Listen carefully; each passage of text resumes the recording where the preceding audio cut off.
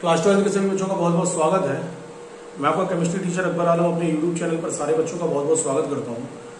बेटा हमारा अमोनिया के सम, अमोनिया के जो टॉपिक थे वो संपूर्ण हो चुके हैं। मैंने उसमें आपको औद्योगिक निर्माण प्रयोगशाला विधि रासायनिक रासायनिक निर्माण की क्रियाएँ रासायनिक अभिक्रियाएँ और क्या कहते हैं भौतिक गुण सबके बारे में मैंने डिस्कशन आपसे कर लिया था। मैं आशा करता हूँ कि आपने अमोनिया को बहुत अच्छे से पढ़ा होगा और नहीं पढ़ा है बेटा तो बिल्कुल याद कर लीजिए उसकी रिएक्शनों को, क्योंकि हमें उसको याद ही करना है बहुत अच्छे से। तो इस बात को विशेष तौर पर याद रखिएगा, हमें याद करना चालू करना है प्लस रिविजन करना है। इन टॉपिकों का जितना रिवीजन करोगे, उतना ज़्यादा ये क्रीम होते चले जाएँगे, बढ़िया होते चले जाएँगे और फिर ये कभी समस्या या दिक्कत को कभी क्रिएट नहीं करेंगे। तो मैं आशा करता हूँ सभी बच्चों ने अमोनिया को पढ़ लिया होगा, जिन बच्चों ने नहीं पढ़ा है, कृपया करके इन बच्चों ज़रूर देख लो, क्योंकि बहुत इंपॉर्टेंट टॉपिक चल रहा है। पी ब्लॉक है नाइट्रोजन परिवार से 100 परसेंट एग्ज़ाम क्वेश्चन बनता ही है। उसी क्रम में मैं आज आपके सामने एक नया टॉपिक लेके आया हूँ, जिसका नाम है नाइट्रिक अम्ल आइए हम वीडियो को स्टार्ट करते हैं, देखते हैं, आइए देखिए। भाई नाइट्रिक अम्ल के बारे में बात करते हैं। नाइट्रिक अम्ल का रासायनिक सूत्र सबको मालूम ही है एच होता है। खोजकर्ता के बारे में बात करें तो नाइट्रिक अम्ल जो है वो प्राचीन काल से ही इसको ज्ञात है। जिसको प्रमुख रूप से एक्वा फोर्टिस के नाम से क्या करते हैं, जानते हैं। पुराने जमाने में प्रमुख रूप से नाइट्रिक अम्ल को एक्वा फोर्टिस के नाम से जाना जाता था। इस अम्ल को ग्लावर ने सन सोलह में सोरे के या के के साथ सान सल्फ्यूरिक अम्ल के आसवन से इसे प्राप्त करने का कार्य किया। तो मतलब इन्होंने क्या किया? पोटेशियम नाइट्रेट को लिया और इसकी अभिक्रिया प्रमुख से किससे करा दी? सान सल्फ्यूरिक अम्ल के साथ कराई। पोटेशियम नाइट्रेट का क्रिया जब सान सल्फ्यूरिक अम्ल के साथ इसके आसवन का कार्य कराया गया तो इसके आसवन की क्रिया के फलस्वरूप प्रमुख रूप से हमें किसकी प्राप्ति हुई? एचओन थ्री अर्थात नाइट्रिक अम्ल की प्राप्ति हुई। चूँकि इसको किससे प्राप्त किया गया? सोरे से प्राप्त किया गया। पोटेशियम नाइट्रेट से प्राप्त किया गया। इसलिए इसको हम सोरे के अम्ल के नाम से भी क्या करते हैं? जानते हैं। फिर उसके बाद आए एक और वैज्ञानिक कैवेंडस कैवेंडस ने ऐसे प्रमुख रूप से नाइट्रोजन और नम ऑक्सीजन, नाइट्रोजन को लिया और नम ऑक्सीजन को लिया और इसके मिश्रण को प्रमुख रूप से जब उन्होंने आपस में क्रिया कराने का कार्य किया, इसमें विद्युत धारा को प्रभावित करते हैं तो इस क्रिया के फलस्वरूप प्रमुख रूप से पाई जाने वाली जो हमारा नाइट्रिक अम्ल होता है, वह हमें क्या होता है? प्राप्त होता है। चलिए, उपलब्धता के अंतर्गत आ जाइए। इसकी कुछ मात्रा वर्षा के जल के अंतर्गत उपस्थित रहने का कार्य करती है। और यह जब प्रमुख रूप से अपने यौगिक या लवण के रूप में उपस्थित होता है तो चिली सॉल्ट पीटर मतलब इसका फॉर्मूला होता है sodium nitrate NaNO3 Indian saltpetre इसका फॉर्मूला होता है KNO3 नॉर्वे सॉल्ट पीटर इसका फॉर्मूला होता है कैल्शियम नाइट्रेट CaNO3 का होल ट्वाइस आदि में यह प्रमुख रूप से उपस्थित रहने का क्या करता है? कार्य करता है। चलिए नाइट्रिक अम्ल के प्रमुख रूप से निर्माण की विधि के बारे में बात करते हैं। नाइट्रिक अम्ल के निर्माण की क्रिया बहुत सिंपल सी क्रिया है। प्रयोगशाला में नाइट्रिक अम्ल का निर्माण करने के लिए हम जब सोडियम नाइट्रेट की अभिक्रिया या पोटेशियम नाइट्रेट की अभिक्रिया शांत सल्फ्यूरिक अम्ल के साथ एक कांच के बने हुए रिटार्ट में कराते हैं तो प्रमुख रूप से पाए जाने वाली क्रिया के फलस्वरूप नाइट्रिक अम्ल जो होता है, प्राप्त होता है। आपने सोडियम नाइट्रेट को लिया एच को लिया।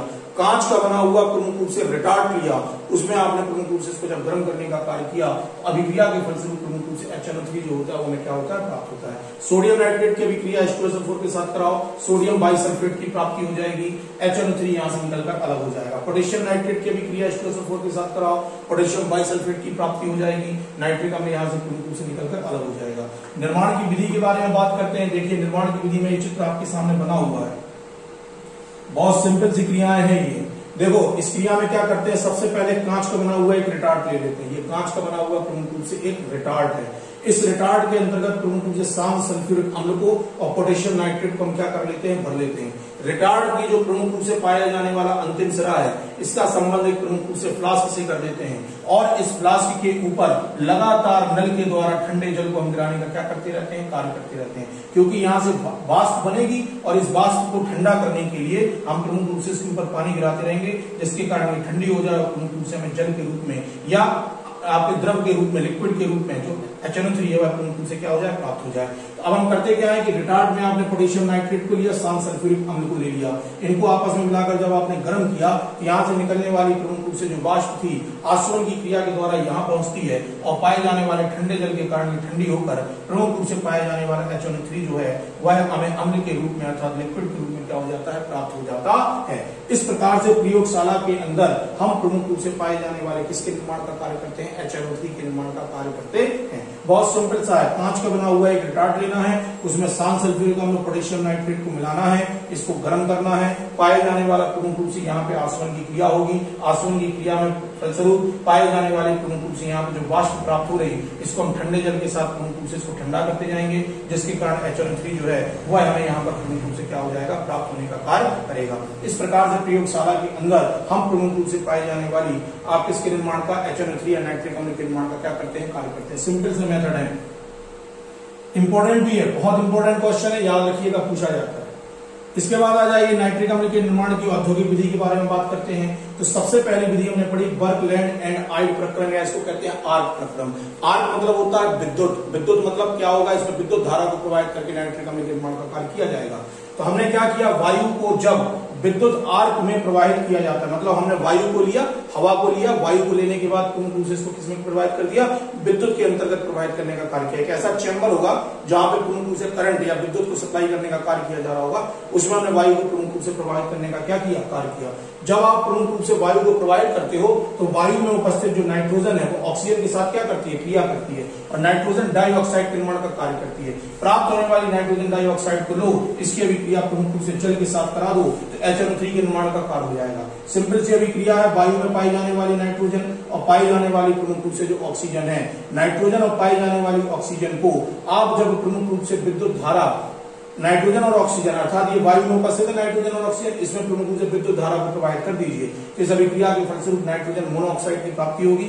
इसको उठा के प्रमुख रूप से इसको पुनः ऑक्सीजन के साथ ऑक्सीकरण करा दीजिए। तो नाइट्रोजन डाइऑक्साइड बन जाएगा। नाइट्रोजन डाइऑक्साइड को लीजिए, इसकी अभिक्रिया जल के साथ करा दीजिए। तो नाइट्रिक अम्ल के निर्माण का प्रमुख रूप से क्या हो जाता है? यहाँ पर कार्य हो जाता है। इस प्रकार से हम नाइट्रिक अम्ल को प्रमुख रूप से बर्कलैंड या आइट प्रकरण के अंतर्गत बनाने का क्या करते हैं? कार्य करते हैं।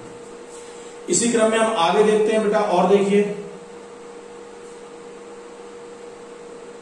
देखो, अब इसके हम निर्माण की विधियों के बारे में बात करेंगे हाँ देखिए।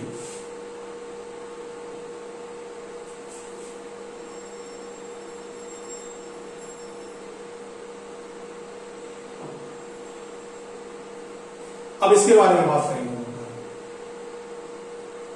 देखिए यह है इसके, आप प्रमुख रूप से आर्क मेथड जो पढ़ रहे थे, आर्क मेथड में प्रमुख रूप से निर्माण की यह विधि है। किस प्रकार से हम इस क्रिया के अंतर्गत कार्य करते हैं? देखिए, इस क्रिया में सर्वप्रथम धूल के कण, कार्बन डाइऑक्साइड तथा जलवाष्प रहित वायु को विद्युत आर्क में लगभग तीन हज़ार डिग्री सेंटीग्रेड तापमान, कितने हज़ार डिग्री सेंटीग्रेड टेम्परेचर पे? तीन हज़ार डिग्री सेंटीग्रेड टेम्परेचर पे।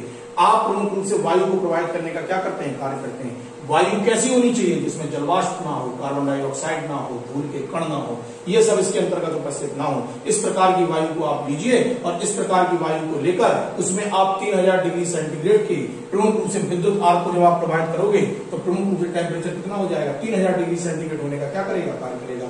इस क्रिया के फलस्वरूप नाइट्रिक ऑक्साइड जो होती है वो हमें क्या हो जाती है? प्राप्त हो जाती है।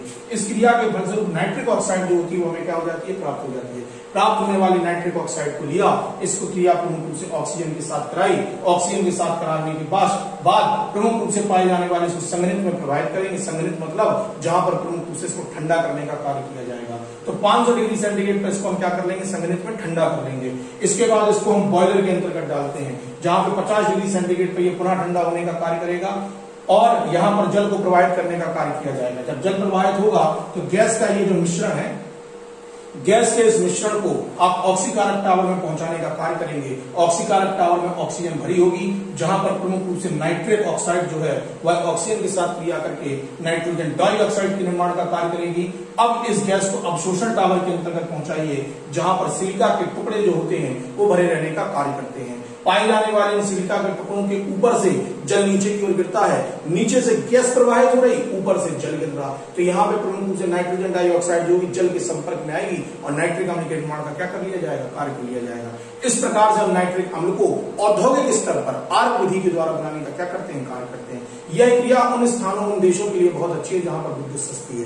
भारत में तो भैया विद्युत बहुत महँगी है, इसलिए इसका, भारत में इसका उपयोग हम नहीं कर सकते। आइए अब देखिए, यहाँ पे कंडीशन लगा दी। इस क्रिया में प्रथम अभिक्रिया उत्क्रमणीय है। हमने जब आपको बनाया था तो भैया इस प्रकार से बनाया था, ये अभिक्रिया उत्क्रमणीय थी। ये अभिक्रिया प्रमुख रूप से हमारी उत्क्रमणीय थी। ये है नाइट्रोजन की अभिक्रिया आपने ऑक्सीजन के साथ कराई तो नाइट्रोजन मोनोऑक्साइड की प्रमुख रूप से यहाँ से क्या होगी? प्राप्ति होगी। यह उत्क्रमणीय अभिक्रिया कितनी कौन सी अभिक्रिया है? उत्क्रमणीय अभिक्रिया। उत्क्रमणीय अभिक्रिया है और इस क्रिया में प्रमुख रूप से अभिक्रिया कैसी? ऊष्मा शोषी है। इसीलिए लासा तेलीय के नियम के अनुसार। लासा तेलीय के नियम के अनुसार यह क्रिया अधिक ताप पर प्रमुख रूप से अधिक नाइट्रिक ऑक्साइड के निर्माण का क्या करेगी कार्य और जितना ज़्यादा नाइट्रिक ऑक्साइड, उतना ज़्यादा नाइट्रिक अम्ल के निर्माण का क्या किया जाएगा? कार्य किया जाएगा। चित्र के द्वारा देख लीजिए। देखो बेटा, चित्र के द्वारा एक बार फिर से रिपीट करा रहे हैं हम सबको। देख लो भैया। समझो। ये हमारा इसका चित्र है। क्या करते हैं? यहाँ से हमने प्रमुख रूप से वायु को प्रवाहित किया। कैसी वायु? जिसमें कार्बन डाइऑक्साइड ना हो, धूल के कण ना हो, जलवाष्प उपस्थित ना हो। इस प्रकार की वायु को हम प्रमुख रूप से किसके द्वारा? पाए जाने वाले ब्लोअर के द्वारा। क्या करते हैं? प्रवाहित करते हैं। ब्लोअर के द्वारा इस वायु को प्रवाहित किया, ये हमारा प्रमुख रूप से पाया जाने वाला आर्क चैम्बर है, जिसमें हम प्रमुख रूप से विद्युत धारा को प्रवाहित करने का कार्य कर रहे हैं। यहाँ पर कितने डिग्री सेंटीग्रेड टेम्परेचर हो जाएगा? तीन हज़ार डिग्री सेंटीग्रेड तब जाकर वायु इससे प्रमुख रूप से क्या करेगी? क्रिया करेगी। जब इससे क्रिया करेगी तो नाइट्रोजन जो है ना वह ऑक्सीजन के साथ क्रिया करके नाइट्रोजन के मोनोऑक्साइड के निर्माण का क्या कर लेगी कार्य नाइट्रोजन मोनोऑक्साइड का निर्माण हुआ कितने प्रतिशत? एक दशमलव दो पाँच प्रतिशत नाइट्रोजन मोनोऑक्साइड बन गई। इसके बाद ये नाइट्रोजन मोनोऑक्साइड निकली। यहाँ पे प्रमुख रूप के अंतर्गत हम इसको क्या करेंगे? ठंडा कर लेंगे। ठंडा करने के बाद इसको हम पचास डिग्री सेंटीग्रेड टेम्परेचर पर कहा बॉयलर में ठंडा करेंगे। और इस मिश्रण को लेंगे ऑक्सीकारक कक्ष के अंतर्गत प्रवेश कराएँगे। नाइट्रोजन मोनोऑक्साइड को आपने ऑक्सीकारक कक्ष में प्रवेश कराया, इसमें ऑक्सीजन उपस्थित रहने का कार्य करेगी। तो यहाँ पे नाइट्रोजन मोनोऑक्साइड जब ऑक्सीजन के साथ क्रिया करेगी तो नाइट्रोजन डाइऑक्साइड के निर्माण का कार्य कर लिया जाएगा। इस नाइट्रोजन डाइऑक्साइड को लीजिए और आपको मुख्य रूप से पाए जाने वाले अवशोषण टावर के अंतर्गत इसको पहुँचा दीजिए। अवशोषण टावर में सिलिका के बने हुए प्रमुख रूप से ये क्वार्टर्स जो होते हैं, टुकड़े जो होते हैं, वो उपस्थित रहने का कार्य करते हैं। और ऊपर से जल जो होता है, वह प्रमुख रूप से गिरने का क्या करता है? कार्य करता है।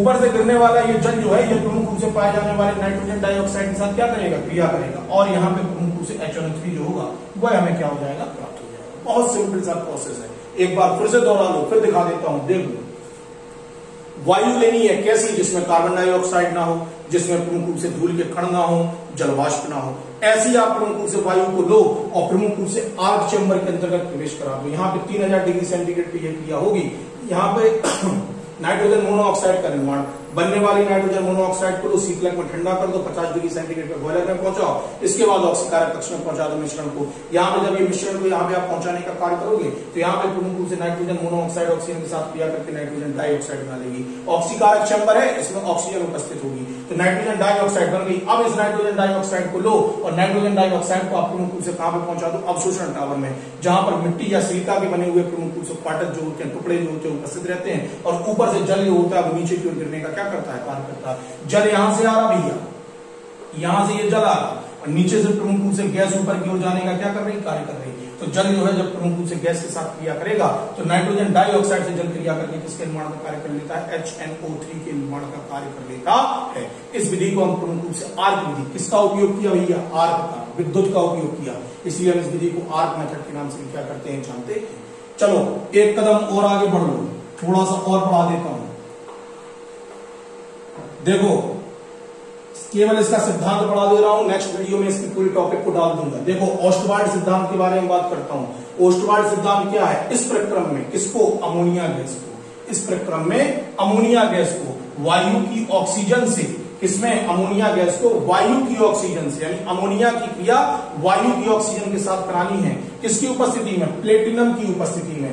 कितने डिग्री सेंटीग्रेड टेम्परेचर पे? 650 से 800 डिग्री सेंटीग्रेड पे आप कराइए। इस अभिक्रिया में क्या बन जाएगी? नाइट्रोजन डाइऑक्साइड लो नाइट्रोजन डाइऑक्साइड अभिक्रिया करा दो जल के साथ। जल के साथ क्रिया कराओगे नाइट्रिक अम्ल के निर्माण का क्या हो जाएगा? कार्य। रिएक्शन देख लो। अमोनिया लिया, वायु से ऑक्सीजन ली प्लेटिनम की उपस्थिति में 650 से 800 डिग्री सेंटीग्रेड के बीच में गर्म कर दिया। नाइट्रोजन मोनोऑक्साइड बन गई। लो नाइट्रोजन मोनोऑक्साइड और इसकी अभिक्रिया पूर्ण से किसके साथ करा दो? ऑक्सीजन के साथ। क्या बन जाएगा? नाइट्रोजन डाइऑक्साइड, नाइट्रोजन डाइऑक्साइड को उठाओ अभिक्रिया करा दो कुमकुम से जल के साथ बन जाएगा कुमकुम से पाया जाने वाला नाइट्रिक अम्ल। इसके आगे का जो टॉपिक है, आगे का जो वीडियो है, जो निर्माण की विधियाँ हैं, चित्र हैं विधियों के बारे में कार्य विधियों के बारे में सारी चर्चाएँ मैं अपने नेक्स्ट वीडियो के अंतर्गत कर लूँगा।